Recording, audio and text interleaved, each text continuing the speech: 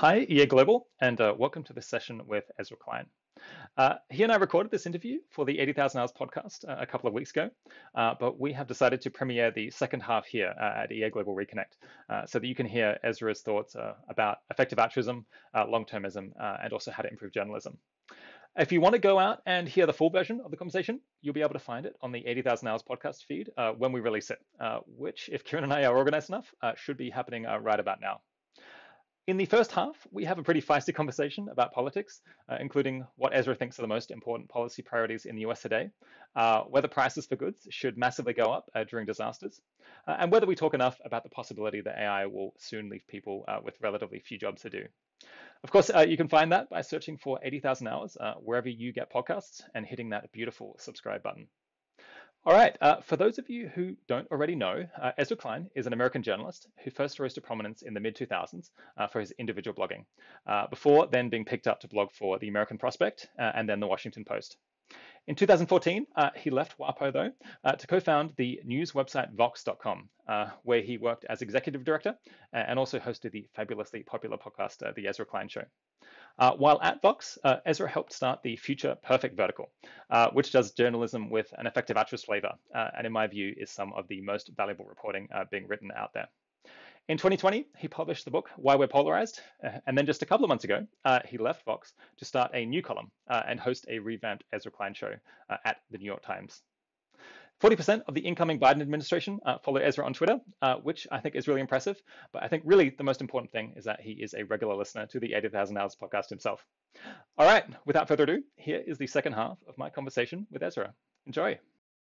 In your email to me a few weeks ago, you said, I've been thinking a lot about how effective altruism can and should uh, influence media coverage. Um, yeah, what, what did you end up concluding about that? Um, how, how do you think you can get kind of more coverage of the most important issues in, in the New York Times more broadly, just beyond choosing choosing topics for your, for your own column? Well, I don't know about the New York Times more broadly because I, I have made the decision to step out of management for a while and I'm exulting in that in that uh, capacity to just worry about my own things. But but but let me talk about what I was thinking about there and what I'm still thinking about because um, I, I, do think about I do think about this part broadly. Um, the question here is how does journalism, capital J, journalism as an industry, how does it decide what's important? Like, how do we decide, given everything could be on the front page, right? Given that every day could be, and this many people died of malaria today too, mm. like, how do we decide what is there? And the answer is complicated. Like, the answer is some mixture, like, and, and it's, by the way, non rigorous and not a framework that we would ever publish publicly, and not something where I think we even hew very well to our own public rhetoric about it. It is some mixture of a subjective judgment of importance a subjective judgment of like how interesting something is, how interesting it will be to the audience. And by the way, I think that's become stronger in the age of social media, mm. where there's more of a sense of like everybody is talking about X, and so of course you have to put something about X, you know, on your on your homepage. Um, but X is obvious is often something dumb, and yeah. so maybe it wasn't that important. Um, and then, and this one's really important to me: path dependence. Yeah. Things that we have believed to be important in the past um, we tend to give an easier ride to being important in the future. Like something I think that I've been signaling in this conversation is I think taxes in general are less important than the DC political debate makes them seem. Mm. Um, and but that comes from like for a very long time they have been important we have forever have taxing um, debates in washington there are like a lot of committees that do it like there have been periods when like the debates we're having over the tax code were really central to how the economy would perform. We've done really big reforms that were needed at other times in our history. And so issues we know about and have an entire superstructure for considering congressional committees, think tanks, experts, etc um, get a lot more play than issues that don't have that structure. So take AI here. Like I certainly think AI is more important than marginal changes in taxation over the next 10 or 15 years, but there's very little infrastructure for considering it. There isn't a committee in Congress that primarily deals with AI. It's like a sub issue of some of the like the backwater technology committees. Um, there aren't like, you know, in the executive branch, it's not really anybody's like distinctive job. There aren't like big think tanks on this. I know there are a couple out here in in in, in the Bay Area that look at it and, and at Oxford, but it's not something something like where Brookings has a gigantic AI program. Um, there aren't as many interests coming in on it. And so that issue where things that have been important in the past have a superstructure for pushing importance in the future, relationships with journalists, like think tank reports that are coming out, lobbyists who are like talking to members of Congress on it, all of that, it, it really matters. And so, like, that's why I think a lot about frameworks. And, and one reason that, uh, you know, I wanted to create Future Perfect um, at, at Vox is as I began to learn about effective altruism, one of my I- immediate views on it was this is a framework for thinking about importance that could be a different lens we could use in journalism. Like it could help us order things differently. Like politics has its ordering, like its ordinal ranking of priorities, and effective altruism has its ordinal ranking of priorities, more or less. I'm not saying in any place it's like all written down and agreed upon, but but I think you can you can get it you get you get it in the water. And it's not even that I think I fully agree all the time with EA's ordinal ranking of priorities. It's that I think it is another really valuable lens and should be one that like you know we actually explicitly put into newsrooms to cover um, yeah. in the same way that people who are you know a political journalist like have the political lens. So that's why that's part of the way it influences my work. Like i talk to ea people i ask them what they think is important and it's like in the back of my mind like am i actually covering these things or not? And if i'm not then do i have a good excuse for why i'm not? Am i sure that the work i'm doing is more valuable than than that would be? Yeah. I kind of always want to look for what's the systematic reason that the incentives line up such that some things get covered. And I guess you were saying one one reason is just path dependence that like kind of whatever's been covered in the past kind of tends to carry on. I guess like things that were in the curriculum 100 years ago are sometimes still in the curriculum today, even if, if you wouldn't add them if you were going from if you're going from, from scratch. But the, the problem seems pretty fundamental because it's mo- most people read the news like not necessarily for information that they're going to take action on. Um, that it's more kind of for entertainment. I guess recently it's been, been because people are terrified and they want to understand things, but more often people are kind of reading it out of like general interest. They just kind of want it to be interesting or, or to be entertaining. And if that if that's the pull from consumers, if that's what they're kind of demanding, then um, for businesses that are trying to provide that, it, the, the journalism doesn't have to be about the most impressing issues and, and how to solve them, or, or even just like the most pressing issues in general. It can kind of be about whatever whatever people can can spin as kind of entertaining. Um, do, do, you agree that that's kind of I like mean that is a true. fundamental issue? Yeah. Yeah, but but I would think about that a little differently. I think it is important to admit that journalism that there is a part of why people read the news that is entertainment and hobbyism. You're not going to get rid of that but it's only one thread. People want a mix of stuff that is interesting. They want a mix of stuff. I mean, and we've always had this, right? We have sections in the news. Yeah. Um, and so the fact that you have a style section and a culture section and like the, you know, the magazine that comes out on Sunday where you have like long form, interesting work. Um, and you also have the A section and A1 and, you know, what you want to be doing is having the right mix across the entire product because also by the way for what you're talking about like let's say you you, you blow the whole thing up and you say yeah.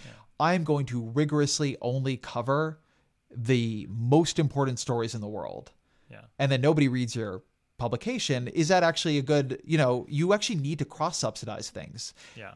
It has forever been the case that political coverage has more power in local newspapers because sports coverage is also in the paper people who wouldn't come to an all local political corruption news outlet do come to learn about the local sports team. And then when they see a political corruption story that corruption has power because like the the the, the people in power know that everybody coming to the paper to check out how the sports team did saw it. So you are dealing with an ecosystem uh, a bundle that, that that needs to be taken seriously. My issue is more like within the part of that bundle that is like that imagines itself as like we do the important work do we actually have the right priority structure? And I would say in general that we don't. Um, we sometimes do, and I think probably over the past year with coronavirus and things, we, we've been better. But I think there's a, a lot of path dependence, a lot of pretending that controversy is a driver of importance, um, and also just like sometimes a, a lack of creativity in, in how to do coverage uh, that is that is a problem. Uh, but I, I, I, it has always been my belief. It was, I think, proven out at Vox. I see it currently at the Times in my columns if you do important stuff well, there's an audience for it always. And and I do think it's harder sometimes to do well, right? You can't just like drift off of the fact that everybody's talking about something and so they might click on it pretty easily. But I I've always said this. This is like one of my like refrains at, at Vox as an editor. If there is something important happening in the world and you can't make the audience interested in it, that is always your failure and it is never the audience's failure. Like it is our job as professional writers and video makers and podcasters and whatever to make this stuff appealing and things people like engaging with, as opposed to things that are complicated, boring, and that turn them off. Yeah, I mean, I think that's a productive attitude to, to have as a, as a content producer. But there are like, there's a lot of issues where it's just like shoveling shit uphill to some degree, or it's like it's, it's a lot harder. There's, there's some things are much easier, much more gravity to the human mind um, than than others, and uh, to, like, yeah, I guess you just have, just have to recognize that it's going to be Yeah. potentially challenging to fund a coverage of really boring or like do really unpleasant things. Like, people don't want to read about factory farming, I think, because it's extremely unpleasant and it's challenging for them, and that that makes it kind of hard. To, Although, but I, to i'll tell you, animal coverage does animal coverage does great. Like Really? animal suffering issue, they do great. Like that's actually like a, that is a an incorrect. I'm not saying you're incorrect. It, I think it is a broadly believed thing that nobody's going to read this stuff, and I can say with real certainty they do. And by the way, pretty within the EA world, it is very much a case that some of the things that, that effective altruists care a lot about are like catnip for readers. So, for instance, um, I think in many ways, AI existential AI risk gets too much coverage compared to like what might AI do over the next 20 years. Yeah. Um, not to say it gets too much funding. I know, I know, but it gets a lot of coverage. Coverage, but one reason, one reason Lots it gets a lot of coverage is that yeah. it's super interesting. Like it's like reading sci- It's like reading like the term, like the news stories that you know come before the Terminator saga. And so why doesn't then why isn't there then more just like broad coverage of AI? I think that actually has a lot more to do with path dependence than it does with reader interest. I think a lot of things we cover in journalism are less intrinsically interesting than like are we creating super intelligent computers and will those computers kill us? You know, but we don't like there are a lot of people who've been working at outlets for a long time who cover um, you know, Congress and not a lot of people who cover AI. And so like that's actually something that in 30 years may just be different, but there is a there is a, a, lag in the institutional structure. Like it's hard to get journalists to cover stuff they don't they don't know and and it's hard to this is just like a, a an institutional management thing, but it's often hard to move to like be the first to move people onto new beats. And then also if your business model is under stress, which is true for almost everybody in journalism, um, it's really hard to then like take flyers on new beats. Yeah, yeah. So I really framing you're taking this is like different and maybe better than the one that I've usually had in my head because I've usually thought about this as like how do you get more funding or like more like advertising revenue so that you can like fund more people to more people like uh, Dylan Matthews and Kelsey working at, at Future Perfect covering those issues. But you're thinking more like there's already people who think of themselves as covering the most important issues in a sophisticated way, and sometimes they're not. Sometimes they're covering things that actually aren't that important, and maybe we could switch them and like get them to think about that other issues are more important. I would think of that as a process, actually. That, you know, one of the points of Vox, one of the points of Future Perfect is to change journalism more broadly, not just within the walls of the institution, but but to, to create models of things that other people are going to use. I would say that if you look at explanatory journalism, it looks different from before we launched at Vox. It's everywhere, and people have learned a lot of those lessons um, in, in the way we tried to do them. And then, you know, I think this is less true for Future Perfect yet, but to your point, we built Future Perfect on an alternative funding stream. Like I worked with the Rockefeller Institute. Um, I'm sorry, I worked with the Rockefeller Foundation to get the seed funding for that organization, and then um, it's ha- it has a more diverse set of, of of philanthropic funders now. But if it keeps growing, which I hope it will, and by the way, I think that's a totally reasonable way to fund journalism. Um, if it keeps growing over time, it will also just, you know, other places will compete, maybe not just through philanthropic, but just by, you know, making that something that their advertising dollars cover. And of course, by the way, at Vox, advertising dollars also cover Future Perfect, right? Everything is cross subsidized. But, um, but yeah, I don't think what you're saying is wrong. What I would say is I would think about that as a process. I would think about you want to create it is very helpful when trying to get a new form of coverage off the ground to create a funding model for it. But once that funding model is created, um, if it is successful, at some point, it is going to um, just become part of the core operations of the institution. So a good example here, I would say, is is poverty and inequality coverage. Um, there is, if you look around the media, a lot of coverage of poverty and inequality issues funded by foundations. Um, Ford did a big project a couple years back. Uh, at the same time, there is a lot of poverty and inequality coverage that is not funded by foundation. This is just like you're an economy reporter, report on some poverty stuff. Uh, and so what you want is that that mix, but that comes once you've like won the the war over whether or not this is a core issue that is part of like simply a responsible news package. Yeah. I'm super interested to know if there's any other lessons you. I guess you found out that animal welfare, factory farming stuff does quite well. What other like really important issues do like surprisingly well with with the audience and actually have legs? That's a good question. Um, I don't know that I have a list like that. I think animals is actually at the top of my list of something people like are quite wrong about. Yeah. With other things, it tends to depend really on how you do it. Uh, and so, uh huh. Oh no, go on. No, I was just going to say that there are there are a lot of issues where there's a huge amount of variance in how well Yeah. things do. And it just kind of depends did you frame it well? Like did the did like the spirits of the internet pick it up or not? And so there aren't that many where it's just like a cheat code to, to writing about it. I mean there are there are people who do well. Like it's very easy to get traffic for like writing about elon musk for instance. You know there, there are certain things that if you can attach them to somebody like that will make it easier to get to get attention. Um but but there aren't that many things where I think there's a like a broad issue that like if only we covered it, everybody would would love reading the the article. I don't think there's that many twenty dollar bills like down on the journalism floor. Yeah. But there's you know doing things better and things are worse. Yeah. Are there any things that where it's the other way around, where you might expect it to be popular, but actually it just uh, regularly tanks? I think Kelsey, in my interview with her a few years ago, said that she was always disappointed with the traffic numbers. I think on the global development stuff, because she would like write very good, sophisticated articles about like what works in global development, and she just found it very hard to get lots of lots of readers for those. Yeah, I think global development is probably the best answer to that. Um, I, again, I want to be really clear. It's not impossible. We have had great readership for global development things. There's a lot of ways to try to approach it, but it is hard to get people interested. It is hard to get an American audience interested in problems afflicting people somewhere else. Like that is just like that is just true. Um, and uh, you know, I think it relates to kind of pretty normal things in human nature, but but but that's a that's a that's a fact. Yeah, yeah. So I'm just gonna think about question to do next.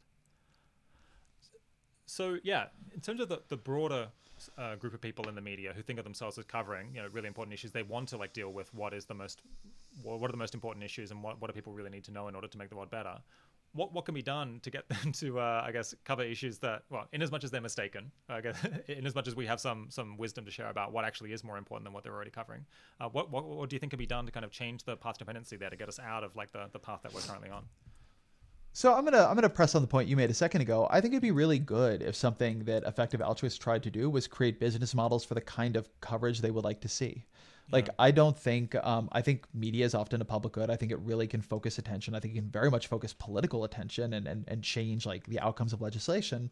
And so you know, at a time of a lot of media stress, I think it's for a lot of funders would be a really high return, low dollar investment. I mean, maybe I'm talking my book here, but now I'm, I'm a New York Times columnist. You're not going to be funding me. Uh, I think it's worthwhile to try to create these models. I don't think what's going to happen is you're going to call people up and be like, "You're doing your coverage all wrong." And they're going to say, "Oh, thank you, you know, for telling me like my life's work is hadn't thought of that. garbage." I think I think I don't think path dependence tends to end because you like tell people like snap out of it. Um, I think that what happens is like new institutions arise that I that force everybody else to to competitively react. Um, so you- you know, I do. I think on- Future Perfect is having some of this effect, and and I think there's a lot more opportunity, um, including in Future Perfect itself. Yeah, do you have any thoughts on what those models might be? I mean, I guess there's philanthropy seems like pretty promising. Um, I think uh, OpenPhil has funded Future. Oh, actually, no, sorry, not OpenPhil. Different group funded a Future Perfect, but they they recently funded a series of articles on factory farming. I think in the in the Guardian, and it's kind of amazing Uh-huh. to me how cheap it is to pay writers to, to do journalism, or how, how many stories you can get and how many views you can get for a relatively small amount of Yep. of, uh, of donor funding. Um, are there any other business models that people should should think about here, other than other than um, foundation funding? And I guess just trying to That's a good question. Um, I mean, I think foundation funding is good. I think trying to, I like the model of trying to build institutions inside institutions. Um, so I think one way foundations often think about this is, you know, we're going to go to the Atlantic and we're going to, you know, partner. Um, and there's going to be 15 articles over the next year on, you know, the racial wealth gap. I mean, this is a hypothetical. I want to note. Um, great, fine. Um, and that's a good thing to do. And then, you know, that that orients the coverage in that way. It creates resources to do more reporting, right? Doing this coverage well is very it can be can be not expensive by the terms of like foundation funding, but expensive by the terms of, of journalism budgets. Uh, but I think there's real value in going bigger than that uh, and creating like institutions and you know sections, right, that have an editor, that have writers who are dedicated to this. So it's not like the fifth thing they're doing is they have to fulfill the terms of this, you know, out of, uh, of this um, foundation partnership. But there's actually like a group of people who are committed to this issue and then can prove out that it works unusually well. And then maybe the larger institution says, "That's great, that's working really well. Like let's keep building on that." So I, I would say the thing I think people underestimate here in terms of its value is actually institutions inside institutions. Creating a new institution is possible, but that's a lot of work from scratch. And you've got to like build your audience from nothing. You have to build a social media team. You have to build potentially an advertising team, like da da da da da da. Like who's doing your CMS? Like how are you doing technical support? There's a lot more that goes into making these things work than people realize. Um, who's doing your your you know your your legal side? Um, so. Yeah bigger organizations already have that and already want to do more than they're able to do currently.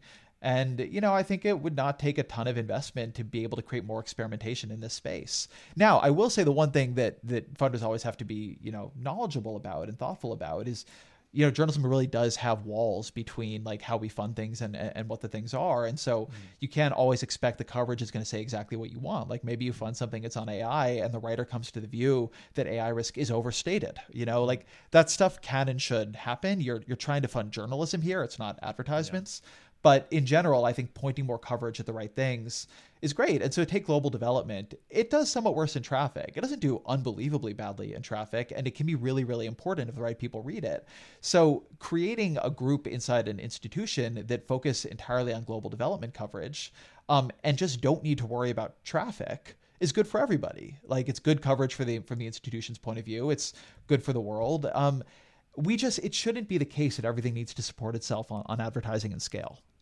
Yeah. I guess you had a particular vision for Vox in the early days. Uh, are there any parts of that vision that kind of haven't yet eventuated, but uh, but is something that a listener could potentially work on and, and, and might, might succeed at creating?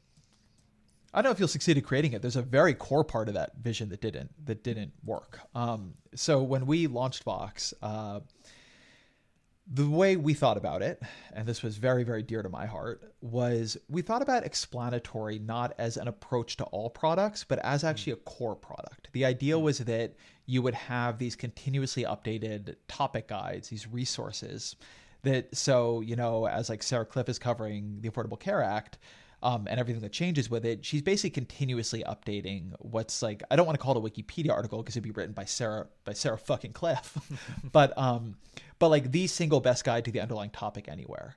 And I, I, I think a really big problem in journalism is that uh, the audience is often coming into stories midstream. Yeah. So you're coming in and you know there's all this jargon you don't understand. There are players whose role you don't know. You know, what you need is really good topic information, but it's hard to find. I mean, Wikipedia is okay. And it's like, I mean, as an institution, extraordinary. Yeah. But for any individual thing can often be disappointing. And so I had really, like, we had this whole product called Card Stacks. And they're different. Re- some of them really worked. I mean, we had an ISIS card stack that got tens of millions of, of views. It was just a great product by Zach Beauchamp. Yeah there are a lot of issues with it. One, it's unbelievably resource intensive. But two, the big thing that happened is that we launched Vox before the great platform fracturing. Mm. So before like Facebook instant articles and Flipboard and Google AMP and like everybody was reading every Apple News, everybody's reading stuff not on your core platform anymore. Yeah. So in many cases, the number of people reading like on your website is you know a half of the number of people reading it. And so things that are bespoke product innovations yeah, that then do not translate everywhere else become a really hard way to, to justify investment. So so of the things there are a lot of things that worked at Vox there are a lot of things that, that i didn't imagine that we did that like worked beautifully. But that was the thing that was really important to me and still to me feels like an unsolved problem in journalism. Like let's say you don't want to know what's up in coronavirus today. Mm-hmm. you want to know about coronavirus and not like something somebody wrote about it 20 months ago, but like updated to today. Like, how should I understand this whole thing? Like, where do I start? Um, for, I think that's that often is... something we failed at yeah, for me that is Wikipedia. I've, I've found that yeah, very often if there's like a current event or something going on, a, a person, whatever, it's much better just to like look it up on Wikipedia yep. and then just like I mean during the during the coronavirus pandemic, I literally was like just like constantly reading the coronavirus uh, or COVID nineteen like Wikipedia entry, and that was much better yeah. than trying to track things through the newspaper. So I wonder if there's an opportunity to try to like build that out within Wikipedia, and that could be a way to get explainers. And I guess yeah. to some extent, Wikipedia could. I mean, that like might a, be maybe you want to fund people to be to, to, to be helping with wikipedia but i think there should be competition to wikipedia. Not because yeah. i want to take down wikipedia. I love wikipedia. It's an extraordinary thing. It's like one of the great marvels of the internet age. I'm just yeah. saying that it shouldn't be your only option um, and and by the way, some people have done this well. Like one, I, I want to call out here. I think also on coronavirus, Our World in Data's um, basically oh, like primers are extraordinary. They don't do that on every issue, but but yeah. like you see how effective that's been on that particular issue. So you know this is a big project. You need a lot of money to do it well, given the range of things you might want to do. Because you don't just want to do. It's very easy to talk about like the ten biggest issues but there's a lot of things to our whole conversation here we're covering that are not the 10 biggest issues. Mm. And so then you really get into to resource constraints. But but yeah, that's something that I still care about. I still don't quite understand the model for like you know, uh, and I still feel is unsolved. Um, uh, again, with the exception of the the great work Wikipedia does. Yeah, is there anything else you want to say on Our World in Data? I, am I'm hoping to get Max Roser or someone else from there on the on the show at some point because their traffic is unbelievable. I, I, don't remember the numbers off the top of my head, and maybe, maybe they're not public, but they're getting a lot of traffic uh, on on a really quite small budget, and obviously they're providing like fantastic information to people, like potentially really helping them to, to understand the world. So I see that as a huge success in journalism of a of a kind. Yeah, I think they're fantastic. Um, I don't have a ton more to say except that I really appreciate what they've done, and they should come on eighty thousand hours. Um, how many hours of news do you think a typical person should consume uh, each week? Ooh, that's interesting. Um, I don't know. It depends who you are and what you're doing, and also depends do you enjoy consuming news or not. Yeah. I think the bigger question actually is like, give it for a, a given number of hours of news, how are you consuming it? Hmm. Uh, a lot of people, I think, think they are consuming news, and what they're consuming is political entertainment. Yeah. Uh, and that's, that's different. That's um, what I'm um, doing a lot of the time. right. Like, yeah. You know, there's some noise in the signal of Twitter, but if you're just like if you're like if the way you get your political news is Twitter, I would say you're you're you're not really getting news at a it, at a depth that maybe you think you are, right? It's a feeling of knowing everything, but what you know is a conversation, not the depth behind the conversation. Um, and I can tell you because I know a lot about Twitter analytics. Most people don't click through the links. Like there are a lot of links on Twitter. There's not a lot of readership through links on Twitter. Um, so that's one thing. I think it's really important for people to try to consume some local news. You know, you should not your diet of information should not be all national and international. If it's if it's so heavily weighted there that you basically don't know the name of, let's say you're in America, your state senator and your your state, you know, your your representative, um, you you need to make sure you're reading something local. So you're developing that set of ideas, political identity. People have a lot more of power and effect on their local politics, so I think that's mm-hmm. really important. I don't think people need to consume more news than they want to consume. But I think a lot of people are consuming news in a like a like an inefficient, polarizing, and kind of like addicting way that makes us all feel bad. And look, I'm part of this system too. I talk about this a lot in my book. Uh, but but I'll say just for Twitter, I have gone back and forth for years on what my relationship should to Twitter should be. So I have a very big Twitter audience. Um, I've I think like 2.7 million people there probably they're all bots.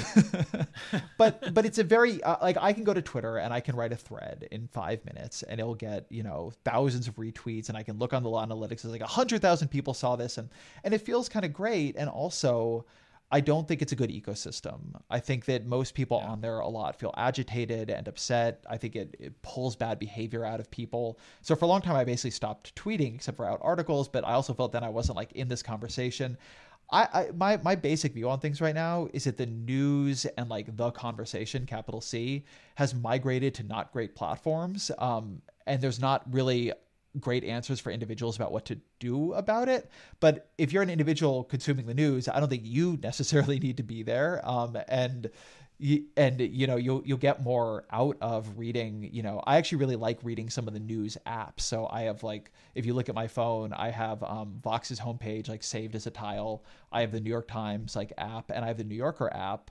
And i really like the three of those. Um, and you know i find actually apps to be a really nice reading experience although vox doesn't have an app it has a nice responsive website. And so that's how i do a lot of my consumption. And then of course i have the la times app which is where i get a lot of my california news. Interesting yeah yeah, it's an interesting point you made about how people should potentially uh, like look at state and state and local news more. I suppose I think that the main people often won't follow it because they think, well, it's not uh, as important as the issues that are that are happening nationally. But I guess because everyone has piled in so hard to the national stuff, in fact, there's these like local things are so neglected that like one person who takes a great interest in them, the one person who like knows a ton about this this local issue at the council, can potentially have much more influence over that than they could over anything nationally. And so even if the stakes are a hell of a lot smaller, maybe like the expected value is is, is higher just because you're you're doing something that is that is being inappropriately neglected by others. Yeah, there's a book by a political scientist named Eitan Hersh, and I don't remember. I don't think the book is actually called. I think it's called "Politics is for Power." But mm-hmm. the the core idea of the book is political hobbyism, and his idea is that there's a huge difference that most people don't intuitively feel between engaging in politics as a practice of power, right? Trying to attain or understand power to change outcomes, mm. and like just cheering on your team And a lot of people who think they're politically involved, they're not. They're they're what he calls hobbyists. They're there for the entertainment. I, I have some issues with sort of where Hersh has gone from here. I think he's gone in a way that's a little bit too dismissive of like some of the way people do their decision making and, and and and structure this but but it's a good provocation for people and one of the things about local politics is i think local politics often connects you to like power like this question of why are things happening what can i do about it whereas like getting mad about donald trump and russia i mean there's good reason to be mad about donald trump and russia i'm not one of the people who think that was a, a story that shouldn't have been heavily covered but it also wasn't something that you were going to do anything about. You know, like if you weren't on Robert Mueller's team and you already knew you were voting against Donald Trump, like you had no real uh, uh, effect in that story. I understand why you want to be informed about the world, but if all of your stuff is like that, I think it's worth asking.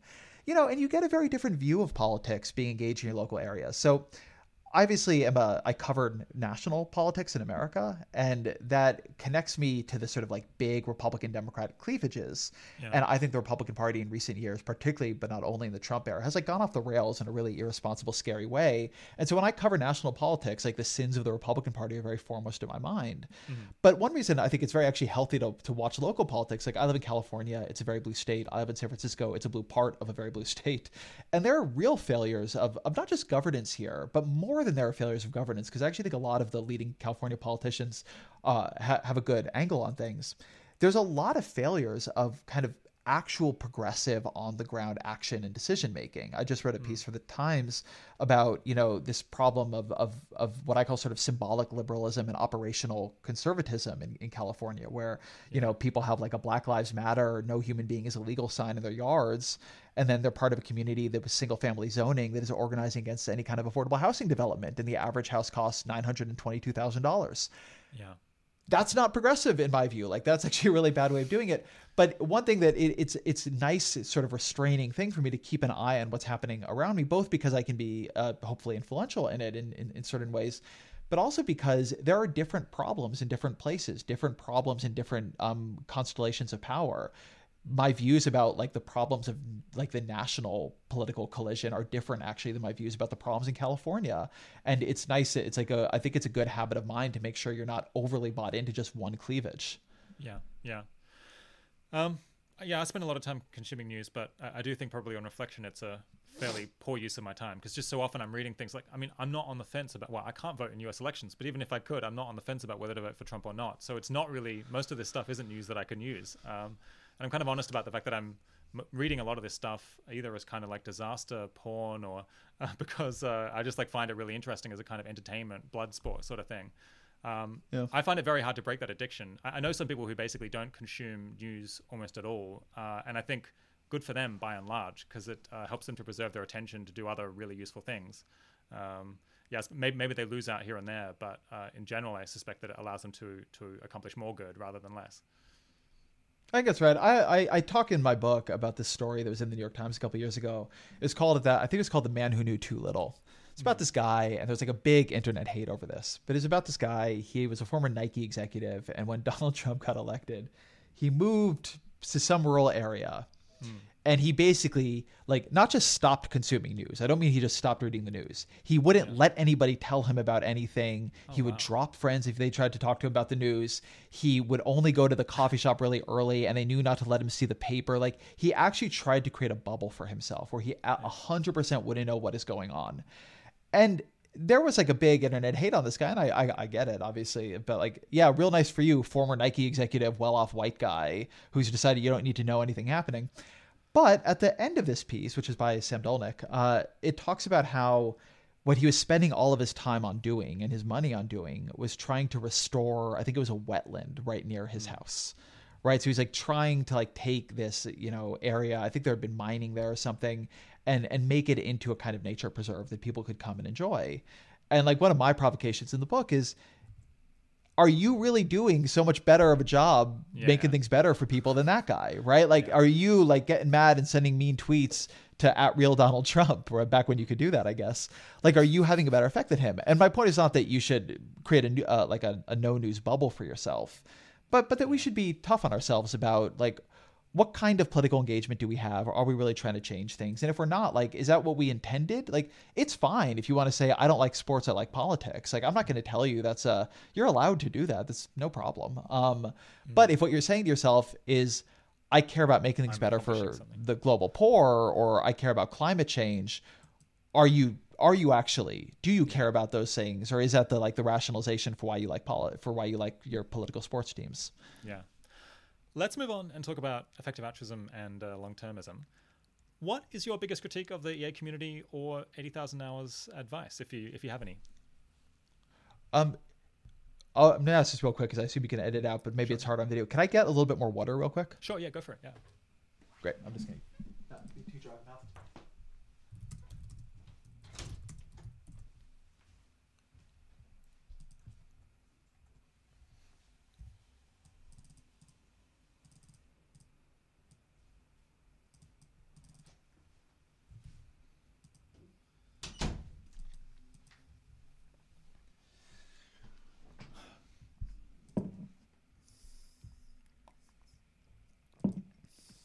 Okay, my biggest critique of the of the EA community. I think there are probably a couple um, that, that I would offer. And I say this again, I think people can tell that I like this world and, and yeah. engaged with it. And, and so I say this, you know, with, with love, not with um, uh, bitterness. And you asked me. um, so a couple things. One, I think that in sort of direct uh, EA, there is a little bit too much focus on what is measurable. Hmm.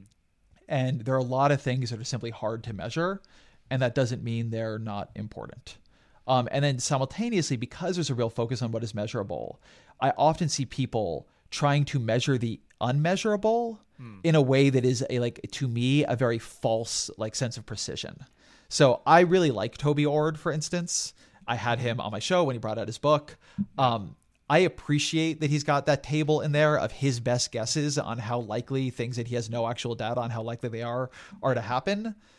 I think there's something disciplining to that, but I think it's really important to notice too that there can also be something um, deceptive in your own thinking to that. Like it's all well and good to say I'm only putting one in thirty down here because I want to tell you like in a clear way what my chances are. Mm. But I can tell you like the way a lot of people read that is like when a like an important philosopher like gives you a table with numbers, it looks a lot more convincing than when he says like I think there's a low but real chance of this happening. And so I think that both being unwilling to, to to deal with the unmeasurable, but then also trying to create false precision around the unmeasurable can can can be bad habits.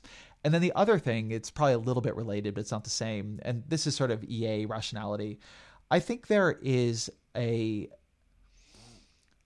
I think it is very easy to tip into embracing an aesthetic of rationality hmm. um, that is not itself actually rational and it yeah. closes you off from other forms of knowing.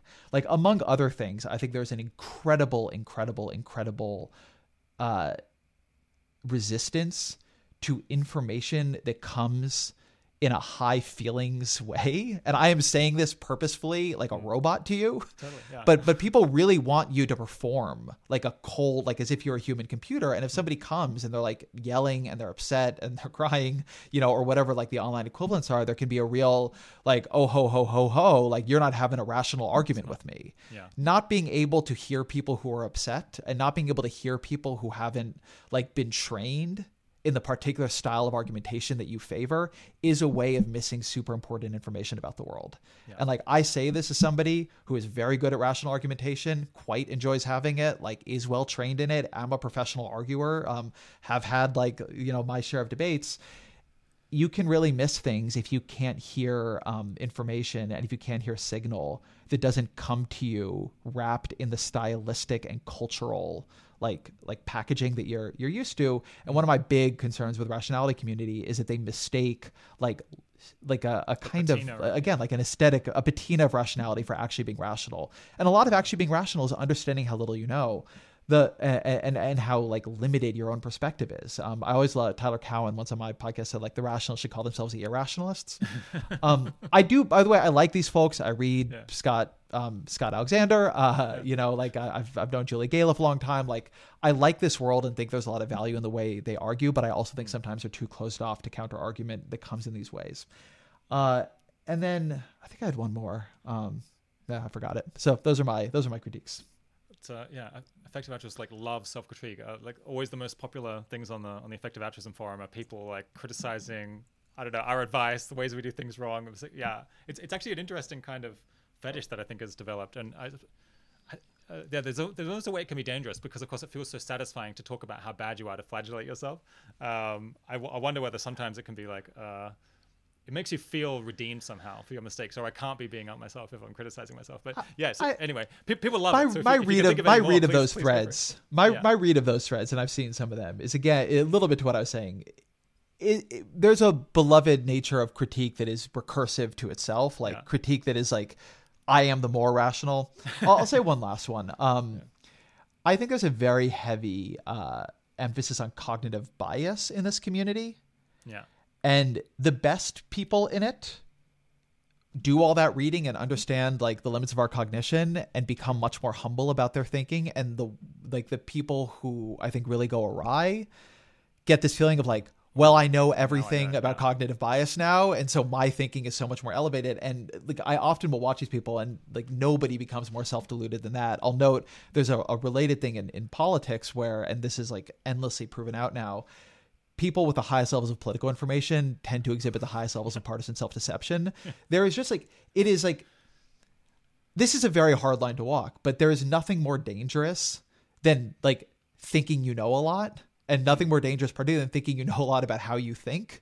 Like you really need a lot of humility and so at the best I think the rationality community imposes humility on itself and at the worst there's a performance of imposing humility there's a way of not actually having humility right that is a Yeah. way of you know, I've known forever, you know, at Wonkblog and other things, things seem more convincing if you put them in chart form. Like they just look more official.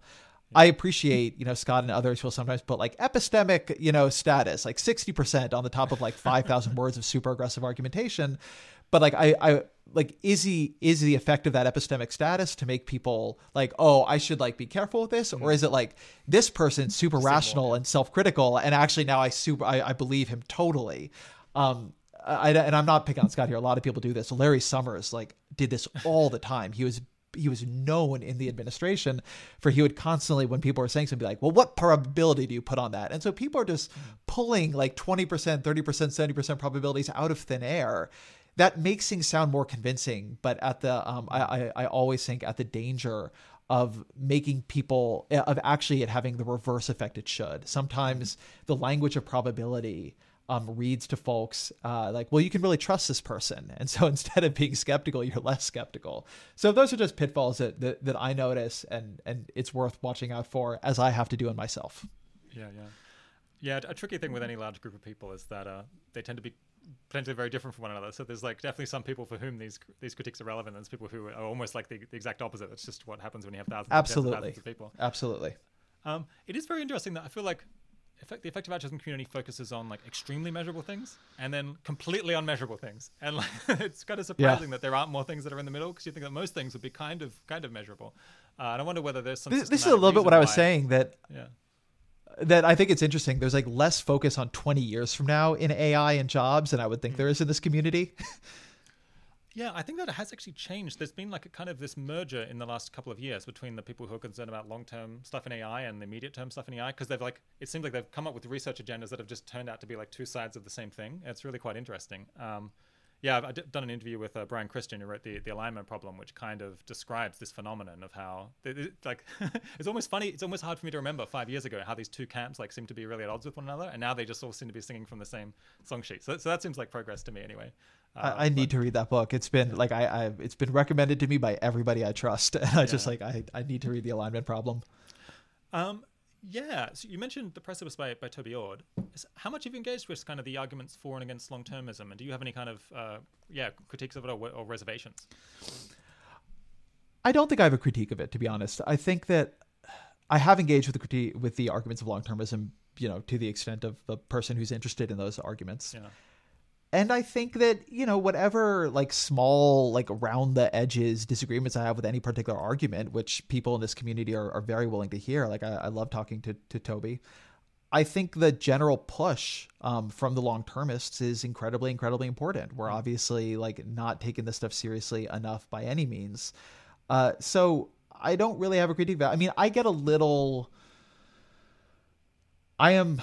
I think you can get into a kind of like mathematical blackmail hmm. situation where when you start running the numbers on like the endless future potential of humanity then like you know any in unbelievably infinitesimal change in in modernity you know like it has like such an outsized impact that like well it's of course worth doing over doing anything else um I don't buy that for a bunch of different reasons, including like I don't think we understand all that well necessarily like how to have those effects. And something Dylan uh, has written that I've also thought is quite smart mm. is that you know let's say you're you're dealing with a question between putting you know five billion dollars into something that is like long termist and putting five billion dollars into say a child allowance. Mm you may um, you know for some set of kids like it actually may be more helpful to be helping people be more educated and healthier now so they can then like using the better resources of 30 years from now right? So like to this to the extent um, yeah. this stuff ends up biting i don't even think it's always clear which direction it bites in. Knowing the long term is important.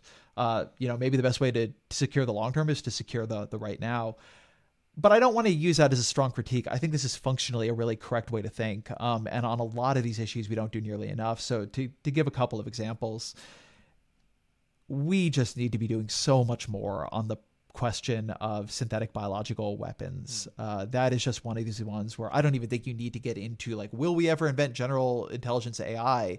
Like, it is entirely plausible, like, really, really in the near term, like, plausibly now, even that people could, with pretty routine ingredients, terrorists could create things that would kill billions of people you know um, and it's terrifying yeah. uh, i think one of the best parts of toby's book is just like the looking at uh, like like some of the pandemic threats that have come up and you know for instance i think it was it's either h1n1 or h5n1 i think it was that it's a it's a swine flu as i remember this with a 70% lethality rate if it gets to if it gets to humans but it doesn't pass human to human uh, but then some researcher trying to study it passed it through 10 ferrets and made a version of it that could pass human to human, which caused an uproar in the, the research community, but it's just yeah. terrifying to think about.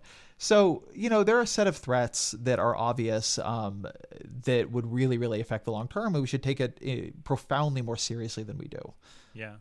Yeah, I've, I've, done an interview with uh, Andy Weber, who uh, used to work in the Department of Defense, uh, where he lays out basically what he thinks is like potentially a permanent solution to this issue of synthetic biology being being so risky. And he thinks it's like it's very risky today and will be worse in ten years, which is uh, kind of using nanopore sequences to just constantly monitor like new viruses and new bacteria that are that are circulating, and then using mRNA, having massive ability to quickly manufacture mRNA vaccines, because now we can just cram, crack out new vaccines really quickly just based on the DNA strand.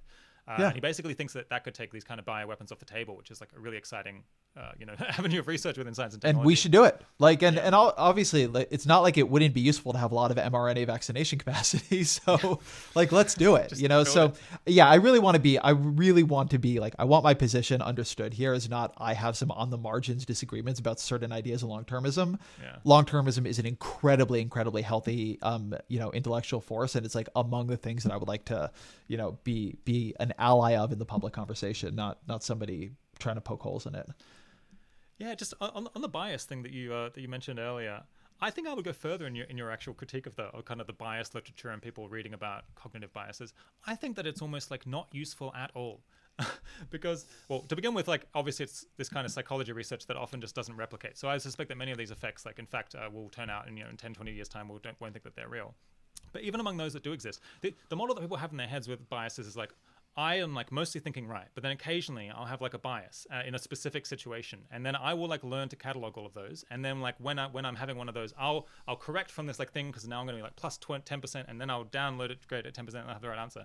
But the reality is, you're just like swimming in like these like potential errors, or like you're just using all of these processes that are very imprecise all the time, and like you get rid of like one bias, and there's just gonna be another like you it's not that you have one bias at a particular point in time that you can uh, access. It's like there's 20 things going on at any point in time, and getting rid of any one of them doesn't like really help all the, all that much. And I think you do just end up with this like illusion that you're thinking better than other people. I I think that it's very important to try to be more rational and try to like have, be- have better ways of reaching the right answer. But I think like trying to do this correction for biases is like mostly a poor use of people's effort. Yeah, and, and mostly what it ends up with with people is correcting for other people's biases. Yeah, yeah. right? Like in, in practice, everybody's like, I really understand that I can be thinking this way, but what I'm really seeing with you right now is a lot of motivated reasoning. Yeah, yeah. and it's true, right? Like, I mean, it's usually true. And, you know, I've, I've always said on some of this research, uh, I have a chapter of my book that's about some of this stuff in the political context. And, and I say that, you know, this research is like staring into the abyss. Yeah. Um, the more you get into it, the more you realize like there is no escape, and even the ways you would escape uh, tend to make you more vulnerable to, to, to certain kinds of looking at this. And yet, also somehow we have to operate in a world where, where some things are, are true, you know, or we, where we at least are willing to say some things are true. Yeah. You know, there is no doubt that I have a lot of political biases that inform my writing, and also to some point, I need to be willing to say, I think the way that Republican politicians in Texas responded to the the, the freeze was really bad. yeah. And you know, am I biased in saying that? Yes. Am I pretty confident of the empirical true. evidence on which I'm saying that? Yes. It's just hard. Like I think the place this should leave you is a like my my lesson on this stuff for myself is like the place this literature should leave you in is a place of profound discomfort with yourself. Mm. yeah. And like if you're not if you if you if it's making you feel like real good, then you're probably not absorbing it correctly. Yeah, I mean, I think there's a more optimistic story to be told here if you look at the kind of heuristic literature, because there's all of these studies that try to find like, oh, here's like how people mess up and get things wrong. But it's also extraordinary how often like people can get incredibly complicated things right, like very very quickly, and how they man- they're managing to do these shortcuts that avoid like doing very complicated analysis, but still like get a pretty good enough answer very fast. Yeah. I think there's yeah there's a whole way that we could have gone down like how do people think right like how do they do a really good job and then kind of trying to celebrate that and expand that instead it's like these maybe it's just easier to study like ways that people get things slightly wrong in these like bizarre experimental setups that probably don't generalize to the real world. Um, I, don't, I don't know maybe it's just like more fulfilling to criticize yeah I don't, I don't know exactly why we went down that track rather than than appreciating the ways that people are good at reasoning. Negativity bias is an important Yeah. bias, very great point. Um, particularly in other people. Are there any um, are there any effective altruism-ish projects that you've kind of considered doing but uh, but decided against, or, or any maybe yeah effective altruist themes like uh, theme projects that you might want to suggest to, to listeners that they could potentially take on? Uh, I don't know. Um, I mean, no, Future Perfect was was the big one that I'm, you know, proud to have been a part of, and proud that it's, you know, that they've done such an extraordinary, you know, job, and I read it every day and love it, and you know, hope it continues to thrive. Uh, and then obviously, like my own work, you know, to me is sort of a, a, a project of trying to make the the world a better place. I, I don't think I have great ideas of what other people should be doing Yeah, doing beyond that. Sorry. fair enough. Um, yeah, so over the last ten to well for decades, people have been worried about uh, the next pandemic, how about how bad it will be. Um, often those people were kind of re- reviewed as uh, Cassandras, or they were viewed as people who are just like always, always worried about stuff, like always worried about tail risks. They're kind of quirky. Uh, like, can we really trust their judgment? Uh, but kind of they've been proven right uh, last year. And many of those people have also, at the same time, been worried about other kinds of terror risks, like, you know, what if we have a nuclear war with Russia by accident, or what if we go to war with China over Taiwan, even though we didn't really plan to, or what if, like, what if AI really does go off the rails and, and cause massive problems? Has kind of the last 18 months made you like reconsider like whether maybe we should just be more worried about those like about wacky tail risk scenarios maybe the world's like more variable and dangerous than we think Yes and no. No, in the sense. Let, let me frame differently what I think the the epistemological failures were here. So everything you're saying is true, um, but I would say even a lot of the people who missed this believed all that abstractly. And so I've been thinking a lot about media failures around coronavirus. And so, you know, like at Vox, for instance, we had run, I personally did a long video with Bill Gates about the next pandemic, the next like respiratory pandemic, which got millions of views years ago. Then we did a Netflix episode on pandemics, like, and we did this Ron Clay thing on pandemics. I think actually very few places had done like as much like like shaking, you know, the the trees, being like, listen, like a pandemic is a serious threat. And at the same time, uh, while we had like some early coverage of this, it was good, and some that was, you know, not as perceptive. We were not like able to see immediately like this was going to be the one. And I've been thinking a lot about how do you not make that mistake. And one of the difficult things here was even coming from a view that pandemics are a gigantic threat and one of them is likely to kill millions and millions of people like in you know within the next 10 or 20 years.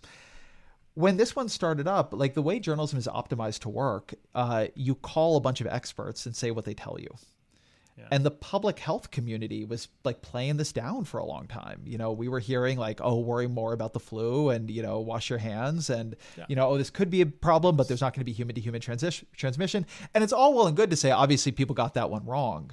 But like, what is, like, what is the heuristic you would use to overrule the experts in a case like this in the future? Like, what would I tell a young journalist, you know, such that in the many, many, many things we look at, where like every year as a journalist, you deal with a lot of things that could become an unbelievable crisis.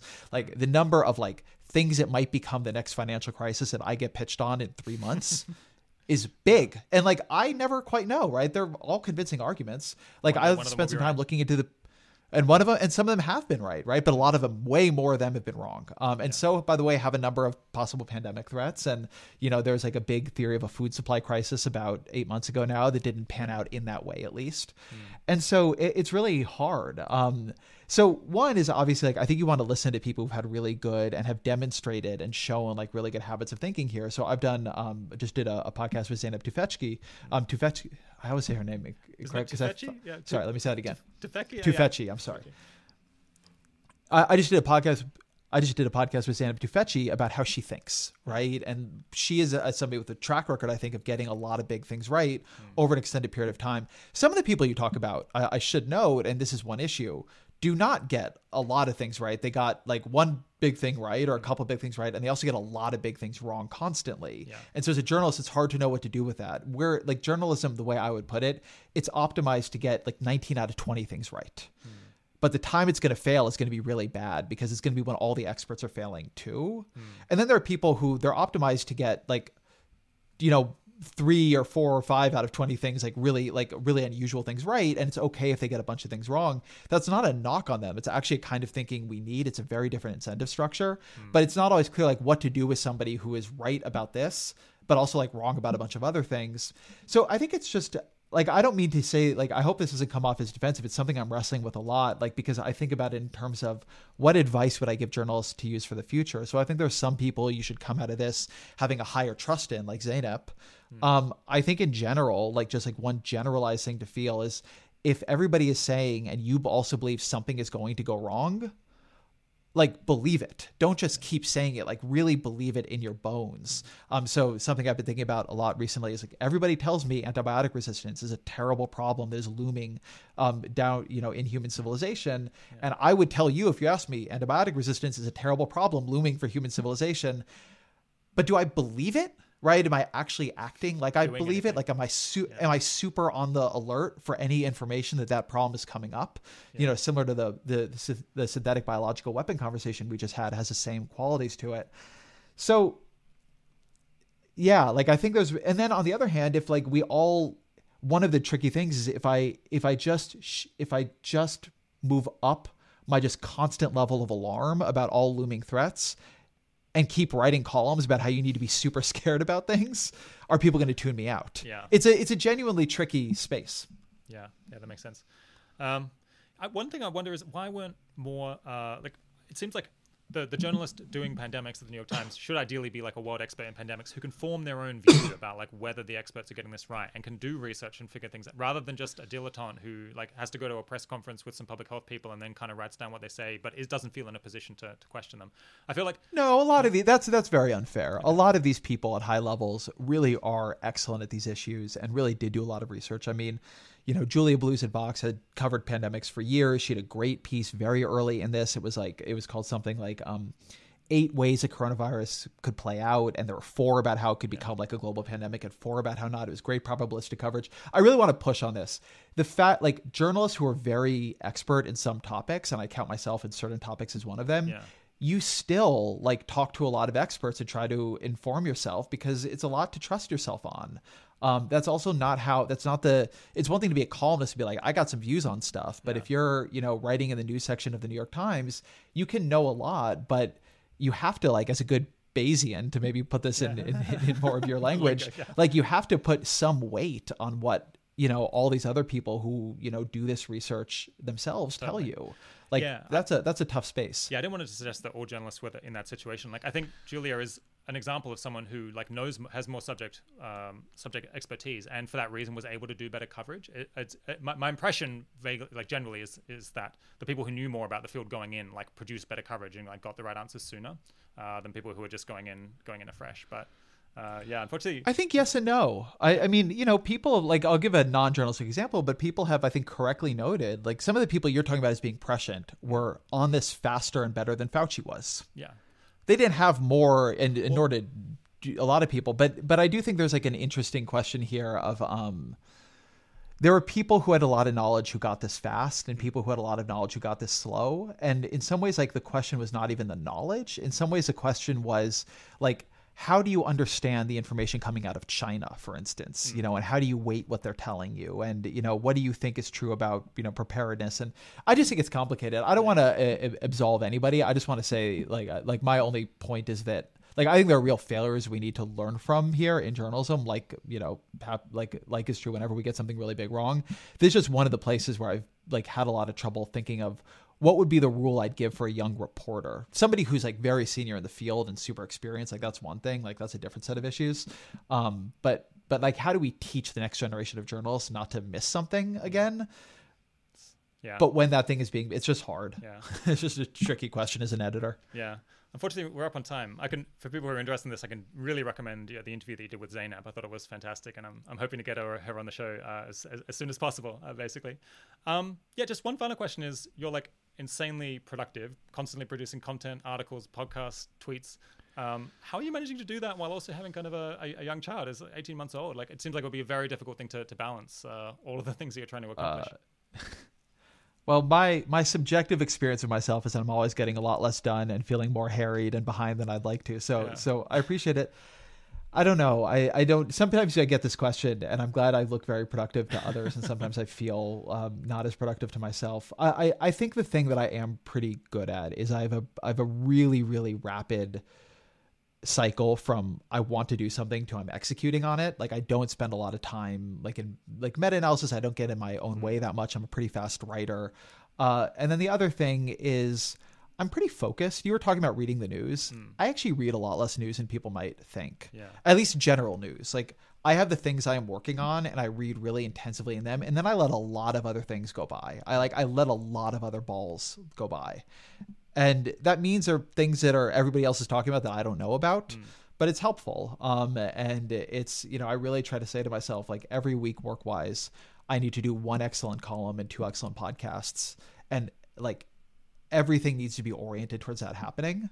Yeah. And then tweets and everything else, like that's extra. Most of it is distraction. Um, but if I'm focused, I can do that. And if I'm not focused, I can't. Um, and so that's where, like, that's where the rubber hits the road. But yeah, you know, I will say there's no doubt that having a young child really, really makes, you know, is wonderful in a bazillion ways. And I certainly wouldn't trade it to be a little bit more productive. But it does change the way you work, um, you know, and, and really does force decisions you didn't have to make before when you could, you know, just coordinate your time out in all directions. Yeah. My guest today has been uh, Ezra Klein. Uh, thanks so much for coming on the on the 80,000 Hours podcast, Ezra. Thank you. It's been a pleasure.